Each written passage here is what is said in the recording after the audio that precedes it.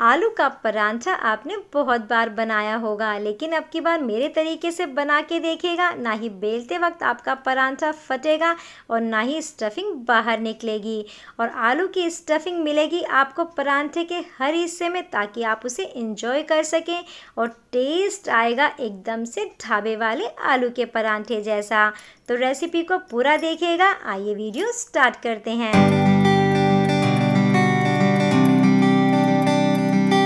तो सबसे पहले फिलिंग तैयार कर लेते हैं। उसके लिए पैन में मैंने डाला है आधा चम्मच देसी घी। घी गर्म हो चुका है। उसके बाद मैं डाल दूँगी आधा चम्मच जीरा और कुछ दाने राई के। दोनों को अच्छे से तड़कने देते हैं और उसके बाद डाल देंगे एक हरी मिर्च को बारीक बारीक चॉप करके। थोड़ा सा चला लेते हैं और उसके बाद हम इसमें डाल देंगे थोड़ी सी हल्दी और साथ ही में थोड़ा सा धनिया पाउडर डाल देते हैं और एक बार चला लेते हैं। अब इसके बाद मैं डाल दूँगी थोड़ी सी लाल मिर्च। लाल मिर्च का मैंने मसाला बना के रखा है। आप सूखी लाल मिर्च भी इसमें डाल सकते हैं। अब इसमें ऐड कर देंगे उबले आलू। यहाँ मैंने तीन मीडियम साइज़ के आलू को ग्रेट करके ले लिया है। अब एक मिनट तक आलू को अच्छे से चला लेंगे ताकि मसाला उसके अंदर अच्छे से मिक्स हो जाए। अब नमक नहीं डाला था तो टेस्ट के हिसाब से इसमें नमक डाल देते हैं और साथ में इसमें जाएगा थोड़ा सा अमचूर पाउडर। अब एक चम्मच इसमें पानी डाल लेते हैं। ऐसा करने से स्टफिंग के अंदर जो भी मसाले हमने डाले हैं, आपस में अच्छे से मिक्स हो जाएँगे। तो ये मसाले सारे अच्छे से मिक्स हो चुके हैं। अब इसके अंदर हम डाल लेते हैं धनिया पत्ती और इसे भी एक बार अच्छे से चला लेंगे।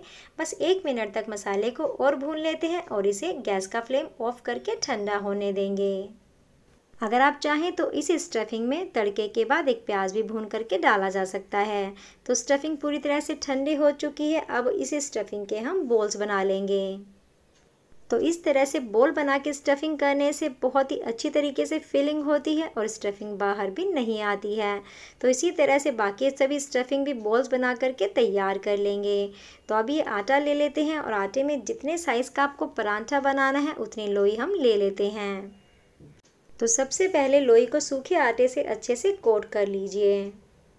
और अब इस लोई की हमें बनानी होगी कटोरी वाली शेप। और जब पूरी तरह से ये कटोरी बन जाएगी, उसके अंदर हम अपनी स्टफिंग बोल वाली रख देते हैं। अब इस जो बोल वाली स्टफिंग हमने रखी है, इसे अंदर की तरफ़ प्रेस करते हुए बाहर की लोई को खींचते रहेंगे। एक हाथ से जो स्टफिंग है, उसे प्रेस करते रहेंगे, बाहर से लोई को खींचते खींचते ऊपर से इस तरह से कवर कर लेंगे।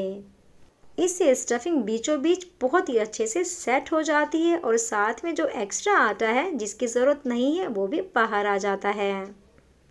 और इस तरह से फिलिंग करने पर आटा बहुत ही कम इस्तेमाल होता है और पराठा खाने में वही टेस्टी लगता है, जिसमें आटे का टेस्ट कम और जो स्टफिंग हमने की है, उसका टेस्ट ज़्यादा आए। तो बेलते वक्त स्टफिंग बाहर ना आए, उसके लिए क्या करना चाहिए? वो भी देख लेते हैं। तो स्टफिंग करने के बाद जितना हो सके, परांठे को पहले हाथों से ही हल्का हल्का प्रेस करते हुए बड़ा कर लेंगे।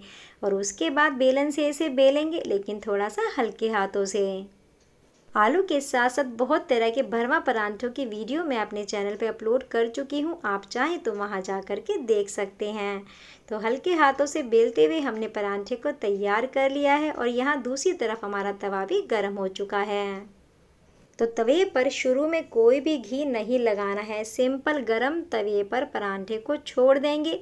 अब कुछ देर बाद साइड चेंज कर देते हैं और जब दोनों तरफ़ से हल्के हल्के से ब्राउन डोट्स बन जाएँगे, उसके बाद हम इस पर घी, बटर, ऑयल, कुछ भी जो भी आप खाते हैं वो लगा लेंगे। और जब दोनों तरफ़ से सिकने के बाद बिना घी लगाए ही परांठा हल्का हल्का सा फूलना शुरू हो जाए तो समझ लीजिएगा स्टफिंग बहुत ही बढ़िया तरीके से फिल की है हमने। परांठा अच्छा बेला है और परांठा बहुत ही ज़्यादा क्रिस्पी बनने वाला है।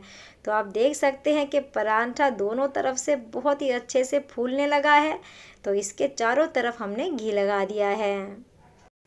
ज़रा सी भी स्टफिंग कहीं से नहीं निकली है, आप देख सकते हैं।